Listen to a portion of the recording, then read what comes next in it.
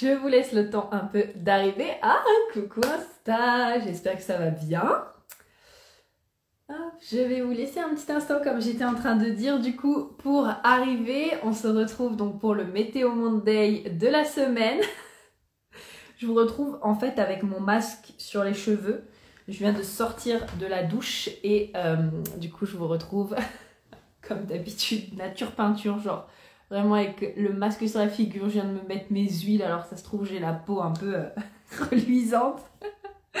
Mais je suis bien contente de vous retrouver pour ce soir et donc les énergies de la semaine. J'espère que vous allez bien. Dites-moi un peu comment vous allez, si vous avez passé un beau week-end, un happy Halloween. Euh, pour ma part, très fidèle à moi-même. Coucou Très fidèle à moi-même. Du coup, euh, moi je suis pas du tout quelqu'un qui fête euh, je, je, je, ne sors pas en fait. Je suis pas quelqu'un, je suis pas quelqu'un qui sort. Et euh, actuellement, ben, je connais encore personne vraiment ici. Donc du coup, je me suis juste contentée de rester à la maison, de faire un peu ce que j'avais envie de faire. Et euh, voilà, tranquillement chiller. C'est souvent comme ça en fait que je fais. Euh, et voilà, this is life. Mais j'espère que pour ceux qui ont fêté, vous avez bien fêté. Pour ceux qui n'ont pas fêté non plus, ça a été pour vous. J'ai envie de vous partager quelque chose. Du coup, aujourd'hui, comme d'habitude, avant le Météo Monday, de vous faire un petit partage de la semaine. Alors, cette semaine, déjà, il y a deux choses que j'ai envie de vous partager. Déjà, une chose que j'ai envie de célébrer avec vous qui est officiellement, donc pour ceux qui ont vu mes stories de ce week euh, de ce week-end, yes, j'ai terminé la mise à jour de Redesign. Donc ça, je suis pas peu mécontente. Je vous avoue, je suis vraiment très fière et très heureuse et très heureuse de pouvoir proposer euh, ces mises à jour là du coup à mes étudiantes et à mes futures étudiantes parce que ça faisait vraiment euh, un petit moment que j'étais en train de travailler dessus. Euh, ça doit faire quelques mois déjà et ça faisait un moment que ça me tournait dans la tête parce que du coup pour ceux qui connaissent pas l'histoire de Redesign, en fait la formation, je l'avais créée la toute toute première fois aux alentours de mars 2020. Donc c'était l'année dernière, j'étais encore au Québec à ce moment-là. Et euh, c'était vraiment genre très simpliste. Et en fait, au fur et à mesure, j'avais reconstruit par-dessus, j'avais rajouté des choses. Et, euh, et en fait, c'est vraiment intéressant parce que à ce moment-là, euh, Redesign reflétait vraiment ce qui se passait dans ma tête. Et donc, la manière dont c'était organisé et tout, c'était vraiment l'organisation que potentiellement il pouvait y avoir dans ma tête. Et à un moment donné, j'ai tout remis en place, j'ai tout rangé. Et vous avez pu voir du coup ce que ça ce que ça, euh, ce que ça a donné et je suis vraiment vraiment vraiment vraiment très fière parce que ça a été euh, quand même pas mal d'heures de travail, surtout au niveau, comme vous savez, je vous en parlais la semaine dernière, mais des 64 portes euh, et puis aussi des 36 canaux. au niveau de la mise en page, de remettre les choses, de faire en sorte que du coup tout soit ok, ça m'a demandé vraiment pas mal de temps, mais je suis vraiment heureuse et donc je célèbre avec vous. Ce qui vient du coup pour moi vous dire la suite que j'avais envie de vous partager, euh, comme je vous disais cette semaine. Pour moi, cette semaine, il y a un gros travail qui est en train de s'effectuer au niveau de euh, le fait de revenir à l'intérieur de soi et donc au niveau de se faire confiance. Tout simplement parce que je me suis rendu compte que j'avais un espèce de pattern qui faisait que à chaque fois en fait j'ai tendance à aller d'abord regarder à l'extérieur de moi plutôt que de venir à l'intérieur de moi. Je sais pas si vous c'est quelque chose qui vous, que vous faites mais moi c'est vraiment quelque chose qui est euh, ancré je pense depuis très longtemps et que euh, je sens que bah, ça y est maintenant il est temps pour moi de me débarrasser, enfin de me débarrasser on s'entend de transformer ça et de pouvoir... Ah Vanessa coucou De pouvoir euh, transformer ça, de pouvoir passer à autre chose, tout simplement ben, parce que en fait j'arrive à un point. Ok, on va y aller comme ça. On va y aller comme ça. Vraiment là, on est en mode real talk, vous savez.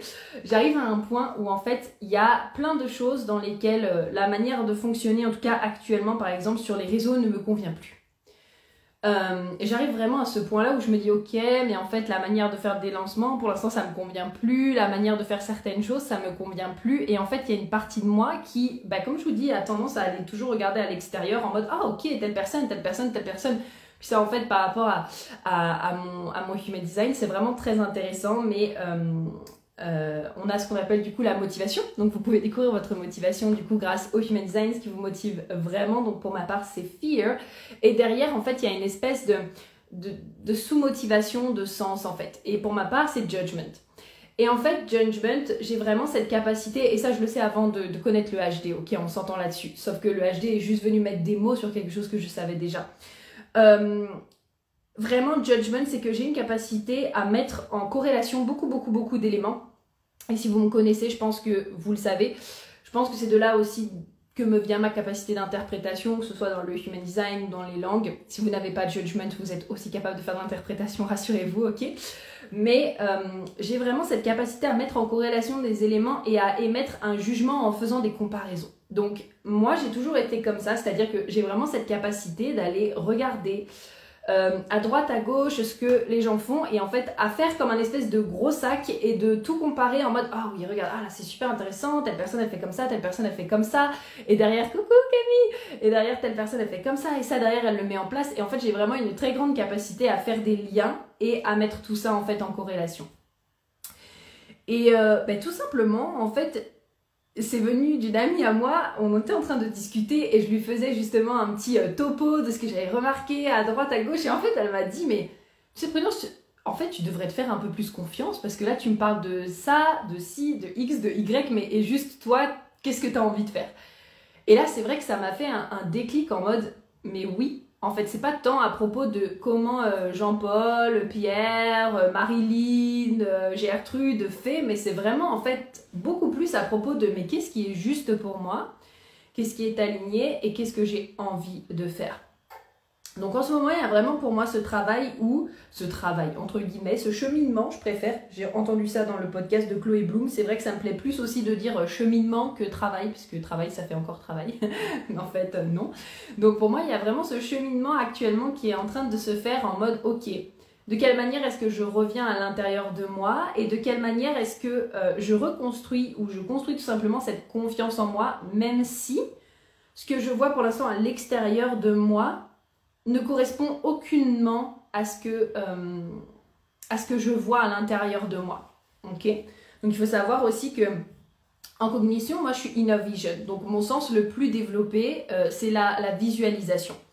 Et ça, ça a toujours été pareil. Je, je vis vraiment avec euh, un monde interne à l'intérieur de moi qui est vraiment en permanence en train de visualiser. C'est vraiment plus fort que moi, mais dès que je fais quelque chose, dès que je, je vis quelque chose, même juste dès que j'ai une pensée, j'ai automatiquement en fait une image qui me vient à l'esprit. Je visualise, euh, il y a vraiment beaucoup de choses qui se passent à l'intérieur de moi. Puis selon vous, votre cognition aussi, il y a différents sens, peut-être qui seront plus euh, euh, développés chez vous. Ça revient aux cinq sens, donc le goût, l'odorat, la vision. c'est quoi les cinq sens? Le goût, l'odorat, la vision, l'ouïe. Et euh, on a aussi outer vision, donc ça c'est plutôt la vision externe. Et on a aussi les feelings, je crois, il me semble, la cognition. Donc on a voilà les, euh, les différents sens. Et donc moi vraiment j'ai cette capacité naturelle à visualiser et c'est pour ça aussi que quand on parle d'abondance d'ailleurs, là je fais une petite parenthèse, mais quand on parle d'abondance, vous savez tout le temps on entend visualisation, il faut visualiser, oui, mais ça c'est fantastique pour les personnes qui sont in vision mais pour les autres personnes, il y a des sens qui sont plus développés et donc qu'elles peuvent utiliser vraiment euh, ben, à leur avantage. Donc ça, c'est aussi très important d'en parler. Et donc, moi, je vais vraiment avoir tendance à visualiser ça et je suis pratiquement convaincue que quelque part, il y a une partie de moi, parce que ça, quand j'avais travaillé avec une amie à moi sur, enfin une amie à moi, une personne qui m'a accompagnée sur le nettoyage cellulaire, il y a eu un moment donné où elle m'a dit, mais en fait, il y avait vraiment un décalage entre ce que toi, tu t'attendais dans la vie, en tout cas quand j'étais petite, donc ce que toi tu attendais dans la vie ou ce que tu t'imaginais de la vie et ce que tu pouvais voir à l'extérieur. Et je sais pas si c'est vraiment de là que s'est créé ce pattern-là, ou ce pattern, donc ce schéma, ou alors tout simplement si c'est vraiment en... Ben, avec plusieurs choses, parce que parfois c'est l'accumulation de certaines choses, mais j'ai vraiment ce pattern qui est un peu en mode, ok, je pense que j'ai vraiment des idées, j'ai vraiment beaucoup de choses qui se passent à l'intérieur de moi, mais qu'il y a une partie de moi qui est un peu là en mode euh, non, non, tu peux pas les matérialiser, ça n'existe pas, ça n'existe pas. Et donc en ce moment, je suis vraiment en train justement de travailler à ça. Donc là pour le coup, oui, c'est vraiment de, de cheminer à ça. Et donc de vraiment être capable en fait juste de me dire ok, ce que je vois à l'intérieur de moi, j'ai la capacité de le créer. Et on en parlait avec une amie tout à l'heure, mais c'est vraiment ok, si je reviens au point zéro par exemple, si vous en êtes actuellement à cet endroit-là. Ça, c'est mon questionnement du moment et je vous invite vraiment à faire la part des choses par rapport à ça. Je vais vous dire pourquoi je vous dis ça après. Mais si je pars justement du point zéro et qu'en fait je ne connais rien du tout sur euh, le business, la manière dont devrait se faire un business, dont la manière dont ça devrait avancer, sur le marketing, la communication ou les choses comme ça, si je repars du point zéro, quelles sont les possibilités que j'imagine en fait? Non de partir de ce point-là. Je vous invitais vraiment juste à, savoir quel questionnement est-ce que vous souhaitez répondre parce que en fait, j'ai aussi remarqué dans ce cheminement-là que je choisis beaucoup plus les personnes que je décide de suivre. Et il y a beaucoup de personnes dont par exemple j'ai juste mis en sourdine les stories ou mis en sourdine les posts ou carrément je me suis désabonnée, pas parce que je n'aime pas ces personnes-là, mais parce que je me rends compte que j'ai une telle faculté en fait à aller prendre l'inspiration ailleurs, donc encore une fois prendre l'inspiration à l'extérieur de moi, faire des comparaisons à l'extérieur de moi, qu'en fait quand quelqu'un fait plus ou moins la même chose que moi, j'ai vraiment tendance à rentrer un peu dans ce ah oui mais telle personne elle fait comme ça, hmm, moi aussi je pourrais tester et faire comme ça en fait, et du coup j'ai cette déconnexion. Donc il y a des personnes qui sont complètement capables de faire la part des choses. Moi je sais que comme je suis en train justement d'apprendre et de construire cet aspect de faire la part des choses, pour l'instant je préfère voilà vraiment choisir avec, euh, attention ben justement où est-ce que je mets mon intention, avec qui est-ce que je mets mon attention, qui est-ce que je décide de suivre aussi de manière consciente? Et pourquoi est-ce que je décide de suivre? Donc ça aussi pour moi c'est important. Donc pareil, vous de votre côté, c'est vraiment quelque chose que je vous invite à faire. Parce qu'il ne faut pas oublier non plus que 70% de la population a la tête non définie. Ok, donc ça veut dire que 70% de la population, si je vous pose une question comme ça, il y a à peu près 70% des personnes qui vont vouloir y répondre. Genre, ah oui, en ce moment je suis en train de me demander si... Euh, euh, je devrais pas. Ah, en ce moment, c'est la question à la mode. Enfin, moi je dis à la mode, mais Laura, elle dit pas vraiment à la mode. Mais oh, je me demande en ce moment si je devrais. Comment est-ce que je devrais faire pour scaler mon business Voilà. Genre là, si je vous envoie une question comme ça, c'est un peu en mode oh ok ben et moi alors comment est-ce que je pourrais peut-être scaler mon business? Alors que ça se trouve vous n'en êtes pas du tout à cet endroit-là vous voyez ce que je veux dire? Mais ça c'est la tête non définie qui va piocher en fait à droite à gauche toutes les questions qui va euh, qui va vraiment vouloir aussi répondre et parfois tout simplement bah, répondre aux questionnements des autres alors que ça se trouve c'est même pas du tout une question qui vous aurait traversé l'esprit si vous n'aviez pas vu cette question à cet endroit-là. Donc voilà, vraiment moi je vous invite à faire, euh, à faire la part des choses et à voir euh, qu'est-ce qui résonne avec vous, qu'est-ce qui résonne avec vous aussi en termes de questionnement et de vraiment prendre du recul euh, pour pas tout simplement que ça vous mette de doute ou que vous commenciez à répondre à une question qui peut-être n'est pas forcément la vôtre. Donc ça voilà, je voulais aussi vous partager ça. Et c'est là aussi où euh, le cheminement avec le design humain, il est vraiment très intéressant. Euh, et où pour ma part, en tout cas, ça a fait une très grande différence parce que là, vous voyez, comme je vous dis, j'ai toujours eu cette tendance à être dans la comparaison. Je pense que vous le comprenez. Et c'est un cheminement sur lequel, voilà, je fais mon chemin, j'avance. Et en fait, quand j'ai des doutes, quand euh, je, je rentre dans cet aspect de comparaison, naturellement, maintenant, j'ai une partie de moi qui sort mon bodygraph et qui refait un point sur mon bodygraph. Pas du tout comme un aspect de ok, je m'enferme dans quelque chose que je ne suis pas parce que euh, on est des âmes venues sur Terre, les gars, hein, on va pas se mentir, euh, notre âme ne peut pas se résumer à un bodygraph, ok? Mais moi par contre, je l'utilise vraiment en mode ok, voilà les énergies avec lesquelles mon âme a décidé de venir s'incarner sur cette planète. Et donc j'ai vraiment le réflexe de venir prendre en fait ce qui se passe sur mon bodygraph et de venir tout simplement refaire un point. Et quand en fait je refais le point, ça fait comme une reconnexion à moi-même en mode waouh. Mais en fait, pourquoi est-ce que je suis en train de me comparer alors que telle personne et moi, déjà, on a des bodygraphes tellement différents que c'est incomparable. Je pense que pour moi, c'est la manière vraiment logique de le faire parce que, entre guillemets, ça m'aide vraiment visuellement à me dire que oui, mais en fait, je peux pas me comparer à telle personne. Regarde, là, là, là, là, c'est différent. Peut-être que oui, des fois, on a des singularités, mais à tous ces endroits-là, c'est différent et on n'est pas du tout venu faire la même chose, en fait. Et ça permet vraiment de revenir dans mes énergies, de revenir dans ce qui est juste, de revenir dans quelque part ce qui est moi. Et de repartir aussi sur une base de, ok, concrètement, voilà qui je suis, voilà ce que je suis venue faire et maintenant comment est-ce que je reconstruis par-dessus en partant vraiment de ma propre énergie, de ma propre essence? Et là je suis en train du coup d'approfondir ça avec l'astrologie qui est vraiment hyper hyper hyper intéressant. Euh, du coup je suis en train de redécouvrir des choses par rapport euh, pareil bah, à mon envie de bouger. Vous savez, il y a toujours des choses je pense avec lesquelles pareil on chemine et des choses qu'on a du mal euh, parfois peut-être à accepter chez nous moi, il y a certaines choses comme par exemple cette envie parfois de, tout le temps bouger. Des fois, je suis un peu là en mode waouh, mais est-ce que j'ai un problème à vouloir tout le temps bouger comme ça? Est-ce qu'il y a quelque chose qui va pas? Ah, coucou Léa Est-ce qu'il y a quelque chose qui va pas? Euh, Enfin, je veux dire, il y a plein de gens, ils sont là, ils se, ils se posent, ils achètent une maison à un moment donné, et moi, je me demande un jour si je serais même capable de me poser quelque part. Et en fait, c'est un peu bizarre de se dire, ok, je passe par un outil pour venir confirmer qui je suis, mais quelque part, je pense que ça a ce côté aussi rassurant. C'est vraiment aussi tout ce que les personnes me disent quand elles découvrent le HD, c'est que ça a ce côté rassurant en mode oh waouh, ben finalement je suis pas bizarre et ça vient juste confirmer la personne que je suis.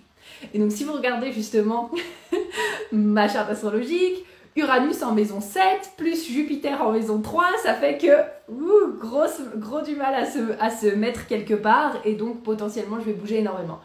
Est-ce que ça justifie quelque chose euh, en mode dès que j'ai envie de me poser quelque part Est-ce que je viens justifier en mode ah oui mais de toute façon moi je peux pas euh, je peux pas me poser j'ai Uranus en maison 7 Non ok je pense qu'il faut pas non plus utiliser les, les outils pour justifier euh, une problématique que l'on n'arrive peut-être pas à résoudre quand on a envie de la résoudre.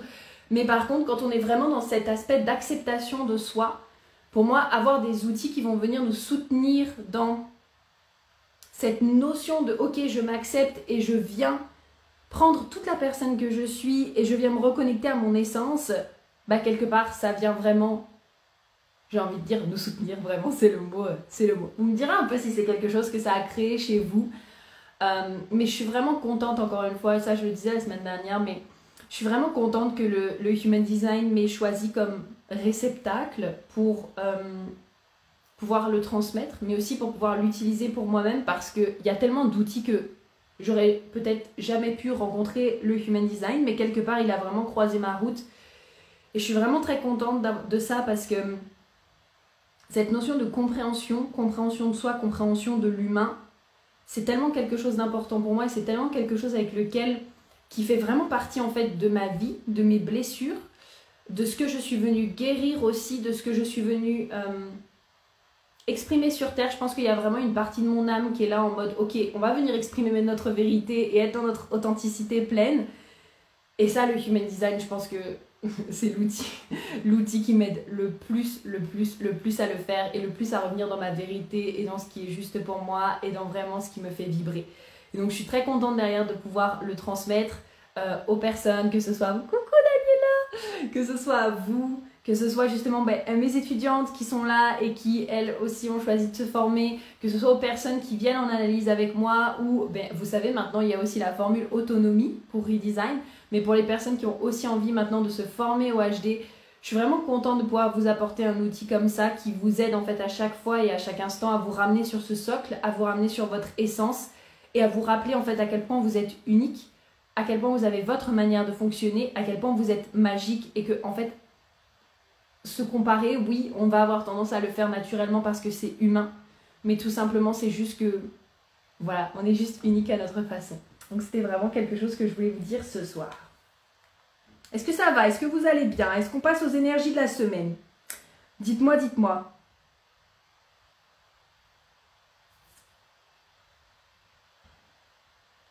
Attendez, je vais aller prendre à boire. J'arrive. En même temps, je vais charger les énergies de la semaine.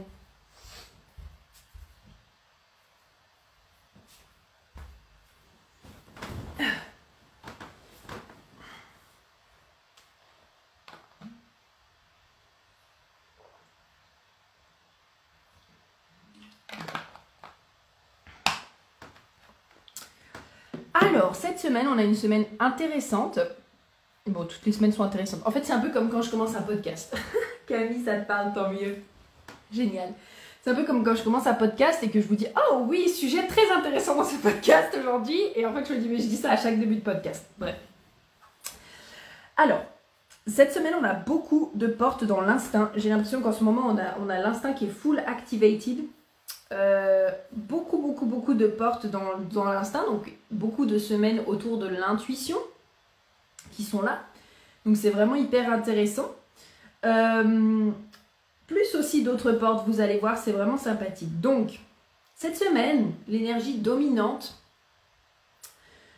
en soleil, du coup, nous sommes sur la porte 44, donc qui est dans l'instinct.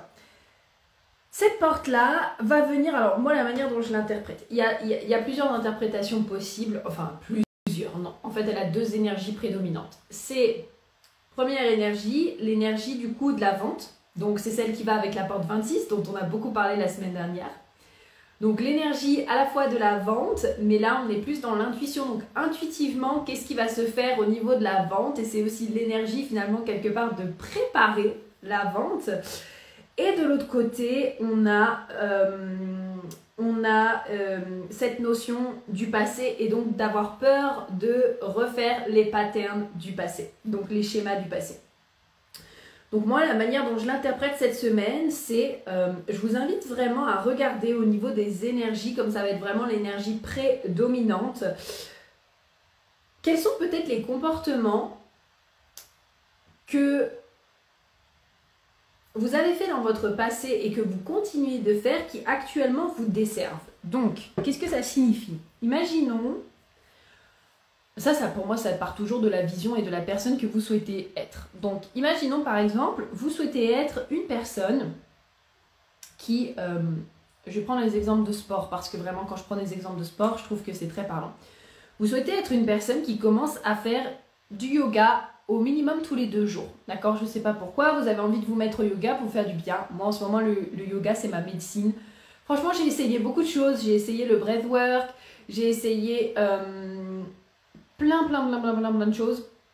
Mais je me rends compte que pour tout ce qui est euh, trauma, connexion au corps, euh, j'ai envie aussi d'approfondir du coup les traumas et les traumas, les guérir grâce au yoga en fait, en tout cas une partie. Euh, et je me rends vraiment compte que ma meilleure médecine pour moi, c'est le yoga. La connexion au corps, etc. Euh, oh, d'ailleurs, j'ai demandé justement à Marine, donc avec qui j'étais en live, où on a parlé du human design et de l'abondance, de faire euh, un live dans Redesign, justement pour la connexion au corps.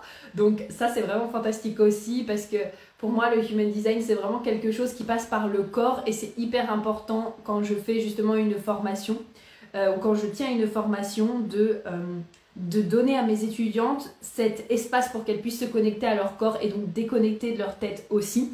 Donc du coup, j'ai vraiment demandé à Marine de faire, euh, de faire cette séance-là et donc pour moi, c'est la meilleure médecine. Donc imaginez, vous souhaitez vous mettre au yoga, vous souhaitez mettre en place cette nouvelle habitude.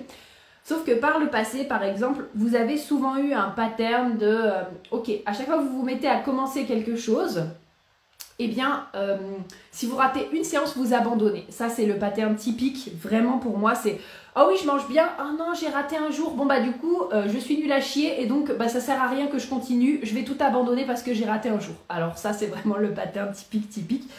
Donc du coup, ben là, par exemple, pour moi, il y a vraiment mettre en lumière, ok, quels sont actuellement tous les patterns qui sont en les schémas, les patterns, les habitudes, les croyances, les pensées, que vous, vous avez fait dans le passé et que vous continuez de répéter actuellement, mais qui vous desservent. Et moi, je vous invite vraiment à venir mettre de la conscience là-dessus pour justement venir voir un petit peu Qu'est-ce que par rapport à votre vision, par rapport à ce que vous avez envie d'accomplir euh, et a envie d'être, tout simplement, eh ben ça va être important de venir transformer ça. Et donc là, par exemple, ça peut être ok, si, si par exemple je me suis rendu compte que j'avais l'habitude d'abandonner parce que je ratais une séance, non, ça c'est un pattern du passé. Maintenant, je décide d'être bienveillante avec moi-même, je décide de me témoigner de l'amour et donc je décide que bah, si je rate une séance, deux séances, trois séances, quatre séances, en fait, c'est pas si grave que ça. Le plus important, c'est à quel point est-ce que je vais m'y remettre derrière et à quel point est-ce que je vais me témoigner de l'amour dans ces moments-là aussi. Et donc, l'autre chose aussi que je voulais vous inviter à voir par rapport à cette énergie, justement, c'est vraiment intuitivement qu'est-ce que vous avez envie de rendre plus beau dans vos services et dans votre euh, manière de vendre, par exemple. Donc, c'est un peu large. On peut tout simplement dire cette notion de qu'est-ce que vous avez envie de rendre plus beau peut-être dans votre marketing, parce qu'en général on parle de marketing justement quand on vient vendre des services, mais qu'est-ce que vous avez envie de rendre plus beau dans votre manière de vendre ou dans potentiellement ce que vous apportez à votre communauté, à vos clients? Par exemple, moi ce qui me vient à l'esprit et ce qui m'est venu à l'esprit quand j'ai préparé tout à l'heure, ça a été un peu cette notion euh, peut-être de ben, oh, je peux peut-être rendre mes services euh, plus beaux en apportant encore plus de customer care par exemple. Ok Et c'est important de voir quand vous choisissez ce que vous avez envie d'améliorer, euh, avec quelle intention est-ce que vous faites les choses? Dans le sens, ok, est-ce que je le fais parce qu'en gros j'ai peur et parce que je veux en faire plus, plus, plus? Parce que si j'en fais pas plus, du coup les gens vont pas euh, acheter chez moi? Ou est-ce que j'en fais parce que, waouh, vraiment ça part de cette envie, de cette forte envie de me dire de quelle manière est-ce que je peux servir encore plus de clients et de quelle manière est-ce que je peux leur apporter euh, davantage peut-être de qualité, de soutien, euh, de quelle manière est-ce que peut-être je peux les aider à implémenter euh, encore mieux ce que je leur transmets, de quelle manière est-ce que je peux les servir davantage. Euh, moi, ça vient aussi, alors questionner. Waouh, j'ai des trucs qui descendent, alors je vous partage ça. Moi, ça vient aussi questionner parce qu'en ce moment, je suis beaucoup dans cette notion-là. Quand je parle justement aussi de cette notion de quelle manière intuitivement est-ce que vous allez vendre vos choses, vos, vos affaires, en fait, ça va vraiment questionner aussi sur cette notion d'alignement.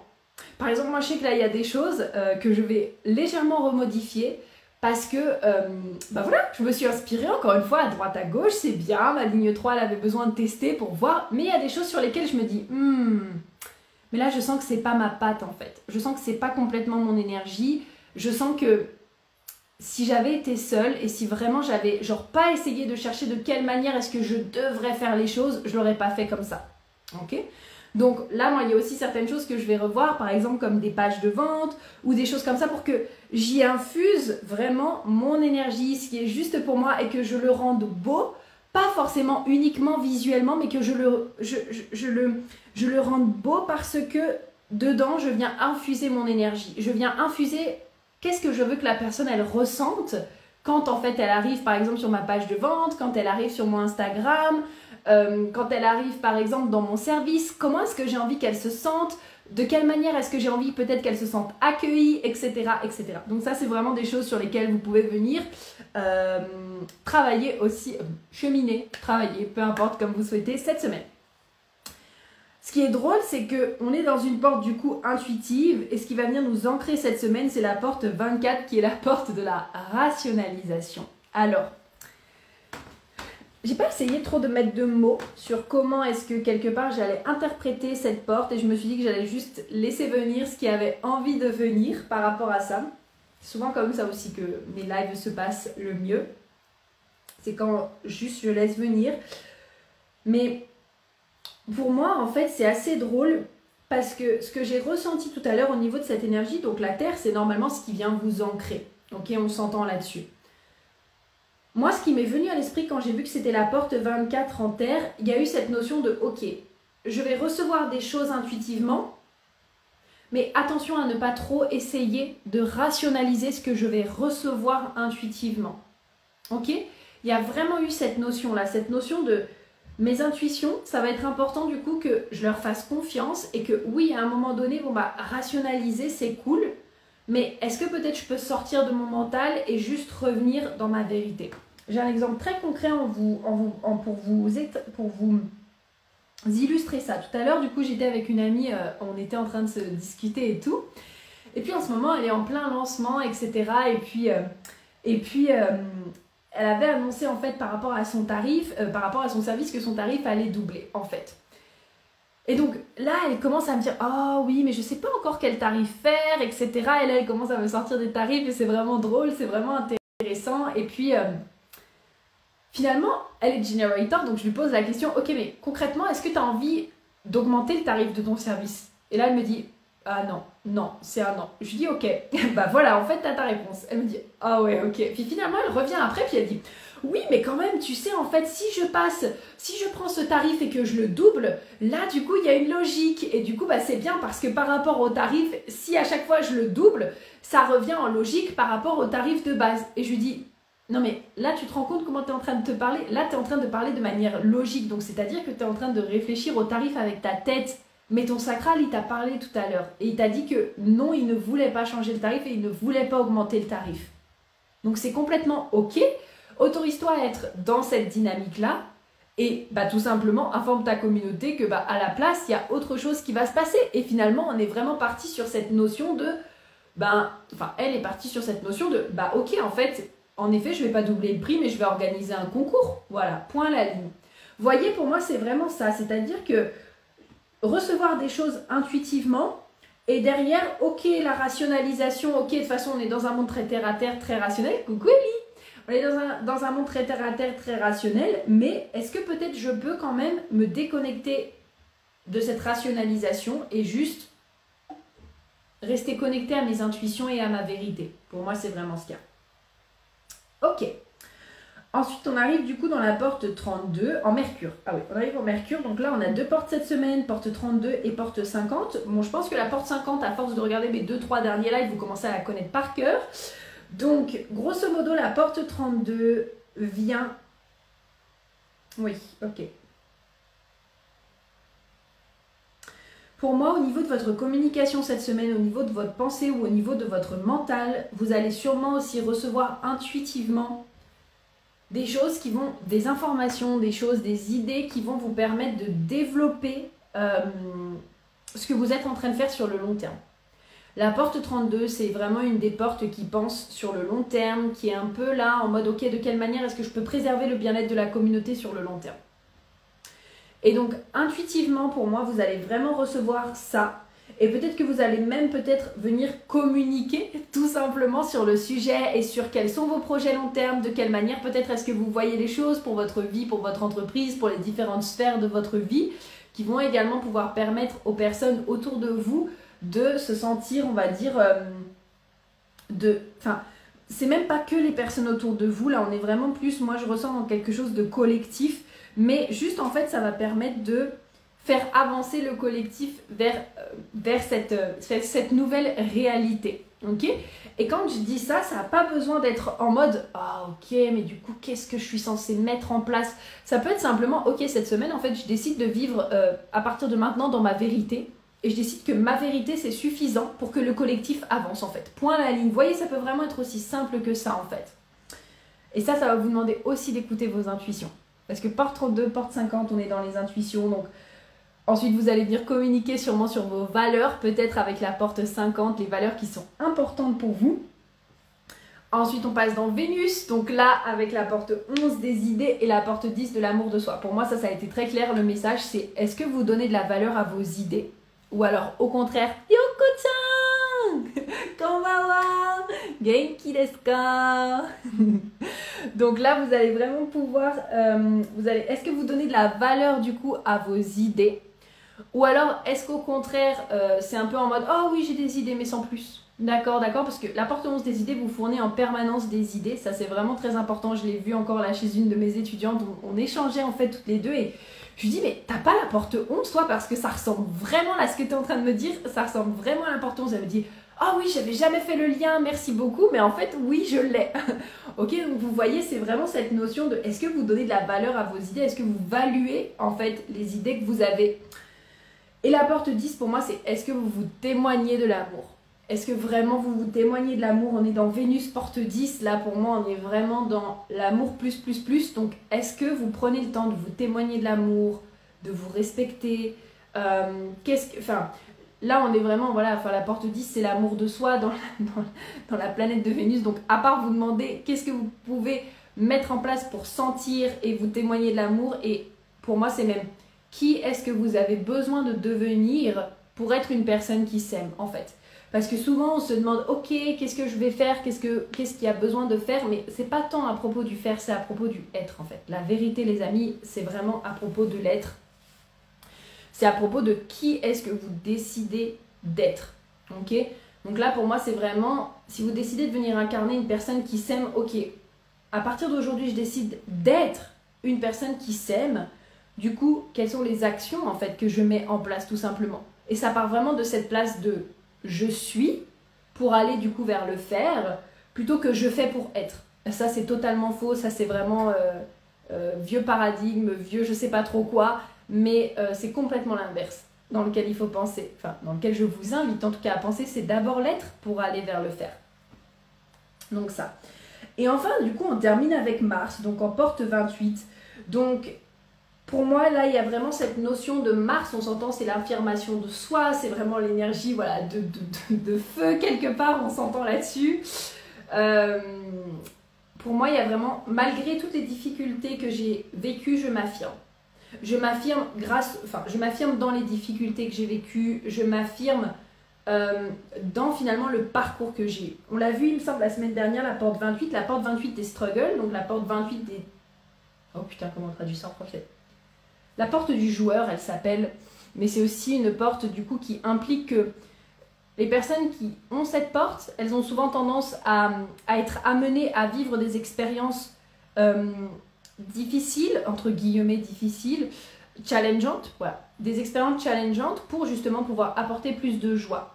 Donc c'est-à-dire où est la joie dans ce que je suis en train de vivre? Ça fait vraiment partie de, de, bah, quelque part de ce que l'âme elle, elle a décidé de venir vivre tout simplement. Je le vois un peu aussi comme, comme la ligne 3, cette notion de toute façon moi j'avance en me cassant la gueule. Donc où est la joie dans le fait que je me casse la gueule? C'est vraiment ça et c'est vraiment fun finalement quand on arrive à tourner ça de manière vraiment... Euh, ben, quand on arrive à voir le bon côté des choses, donc le verre vraiment euh, à moitié vide et qu'on transforme l'histoire qu'on est en train de se raconter. Donc pour moi, c'est vraiment, il y a cette capacité-là d'affirmation en mode, ok, voilà ce que j'ai vécu, voilà les difficultés que j'ai rencontrées, mais ok, maintenant je m'affirme là-dedans, voilà comment j'ai transformé, voilà peut-être ce que j'ai mis en place. Et ok, ben ça suffit en fait de venir, euh, genre de me sentir rabaissée parce que peut-être euh, j'ai vécu quelque chose qui a été vraiment compliqué et je sens que les gens me font encore des réflexions là-dessus, ou alors les gens, je sais pas, par exemple, me traitent peut-être d'une certaine manière, etc. N'oubliez pas que le monde extérieur est le reflet de votre monde intérieur. Ok?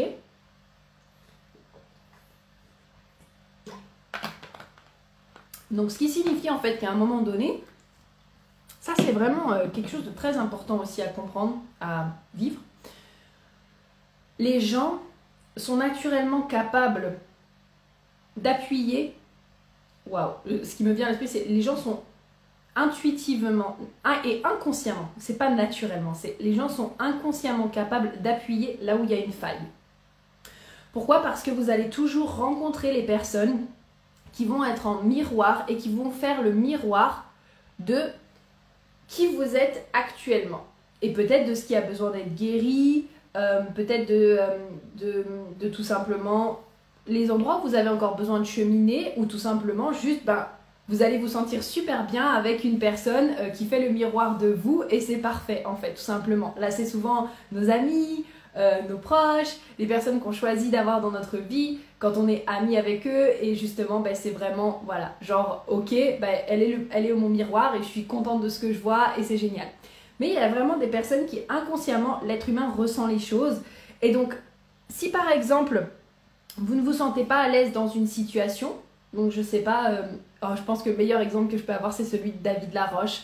Il raconte souvent cette histoire, il dit souvent que euh, la première fois en fait qu'il voulait mettre une, sa toute première vidéo sur YouTube, euh, il a eu cet aspect de oh non mais les gens vont se moquer de moi et les gens vont, vont, me juger. C'était vraiment genre au tout tout tout début et il explique souvent que quand il a posté sa première vidéo, il y a quelqu'un qui lui a mis en commentaire quelque chose comme euh, franchement t'es vraiment nul, tu devrais te suicider ou un truc comme ça genre. Et bien là c'est vraiment cette, cette capacité que ont inconsciemment les gens qui vont rencontrer votre vie peut-être de manière juste comme ça, ting, à rentrer dans les endroits où potentiellement il y a des failles pour venir vous faire cheminer à cet endroit-là. Et donc pour moi, c'est ça que veut dire cette énergie, ce Mars en porte 28, c'est cette notion de OK. Peut-être qu'il y a des, personnes qui sont en train de tester mes limites actuellement. Peut-être qu'il y a des personnes qui sont en train d'appuyer sur hmm, des choses qui sont pas agréables ou des choses qui peut-être voilà, me sont arrivées. Mais ok, maintenant je décide de prendre ma place. Je décide moi-même d'accepter. Je décide moi-même d'accueillir. Je décide moi-même de dire que c'est ok. J'ai vécu ça. Je m'accueille dans ce que j'ai vécu. Je me témoigne de l'amour et je m'affirme là-dedans.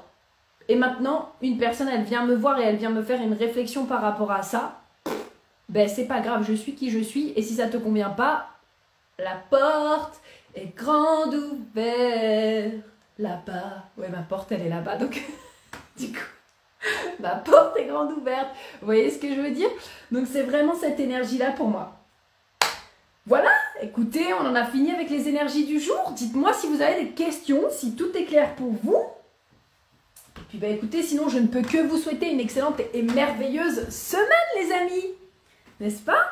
J'espère qu'elle sera aussi formidable que la mienne. Je ne sais pas encore comment elle va se passer, mais c'est pas grave. Partons du principe que cette semaine va être formidable. Et puis, bah écoutez. Hmm. D'ailleurs, mercredi, j'ai ma lecture de thème astral avec Anna. Ça va être vraiment génial. Si vous savez comme je suis excitée. et après, pouvoir combiner le HD et l'astrologie, mais ça va être génial J'ai trop, trop, trop, trop hâte. J'ai plein de questions à lui poser. Ça va être vraiment génial. Donc voilà. Bon bah écoutez les amis, je vous fais des gros bisous. Je vous souhaite une excellente semaine. Et on se dit à très très très très vite